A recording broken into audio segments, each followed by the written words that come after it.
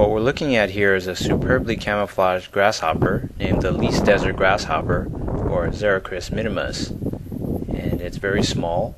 It's not like the other, you know, near locust sized grasshoppers that I've showed you in videos past.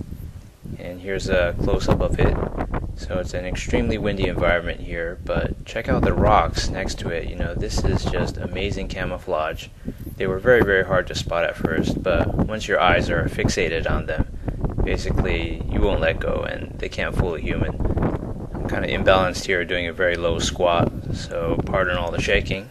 And if you listen in the background, you can hear a rhythmic chirping. I'm pretty sure that was caused by all these grasshoppers throughout the hills and mountains. So in this example, you know, I'm just trying to do what I always do, which is to get really close and to see if I can touch their backs. But, you know, you can already see this least desert grasshopper getting nervous so he or she has just flung themselves away with reckless abandon, like they always do. They have very powerful hind legs. So here's some more footage. You know, it's just really hard to see these guys. And what was surprising is I can't really find anything about those grasshoppers online. You know, normally every species I look at is really well documented.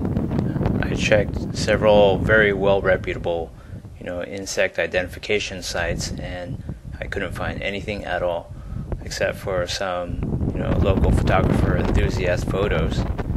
So there were no videos in a search on YouTube for the Latin name or the scientific name, and I suppose I'll be the first one to post a video of Xeracris minimus, or the least desert grasshopper. So here I'm just showing you some scenery footage of the environment I found this grasshopper in. This is again in the Anza Borrego Desert State Park. It's very close to Borrego Springs. Um, there's no foliage on the Ocotillo branches that I saw, and you know I don't think they feed necessarily on these slow-growing cacti. I didn't see lots of evidence of you know these succulents or um, agave type plants being uh, devoured. I think they probably feed on creosote leaves. Uh, there was another species, I think in Arizona, that I saw online that feeds on creosote, and that's probably a good choice because creosote is a much bigger shrub and much faster growing, and it has foliage year round. So I think that's probably what it eats here. This is close up footage of a creosote bush. So some of the leaves have been eaten, and here in the upper right, uh, the center here, you know, we'll pan back to those two leaves. Yeah, those have been eaten.